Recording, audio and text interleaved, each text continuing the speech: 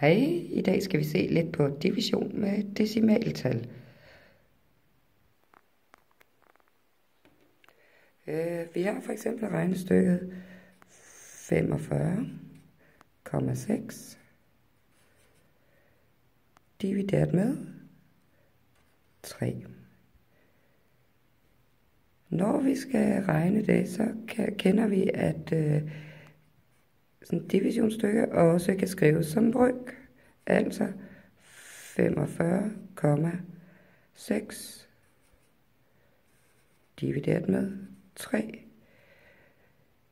Og vil vi have kommet væk, ja, så skal vi bare bruge reglen om at forlænge brygger, altså gange med det samme i både tæller og nævner. Her ganger jeg med 10. Det er et gangetegn. I både tæller og nævner så får jeg 456 over 30. Et regnestykke, der er lidt lettere at dividere med, altså 456 divideret med 30.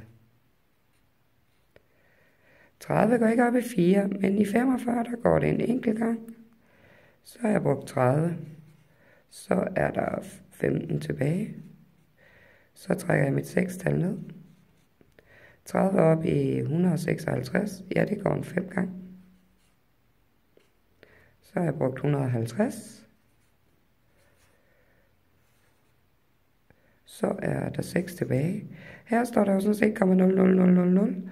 Så jeg trækker mit 0 ned her. Og så sætter jeg kommatal her, eller kommategn her. 30 op i 60.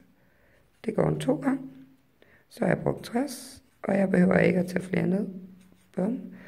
Så er det 15,2.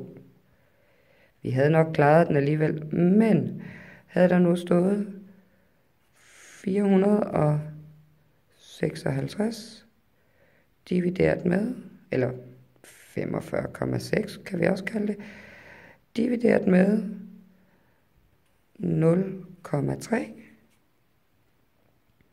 Det er lidt svært at dividere med 0,3. Her er det igen reglen om at stille det op som brøk, der gælder. Og sige 4,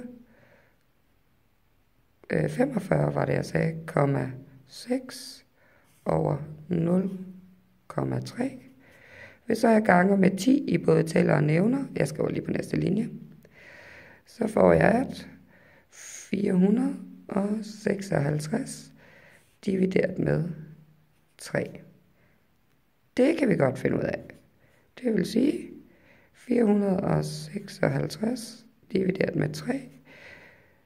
3 op i 4, det går en enkelt gang. Bum, så har vi brugt 3. Så er der en tilbage, 5-tallet ned. 3 op i 15, det går en 5 gang. Så har vi brugt 15, så er der 0 tilbage, 6-tallet ned. Og så er det 2. 106, 152. Havde der nu været et tal mere, så skulle man have ganget med 100 øh, i både tæller og nævner, for at få kommet væk. Så sådan ganger man, eller dividerer man med øh, decimaltal. God regnelyst. Vi ses.